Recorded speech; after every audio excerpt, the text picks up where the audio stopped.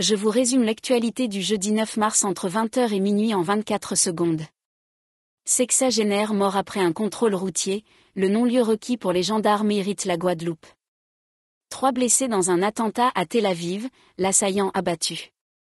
La sécurité intérieure israélienne annonce que l'homme qui a blessé trois personnes par balle ce jeudi soir a été éliminé.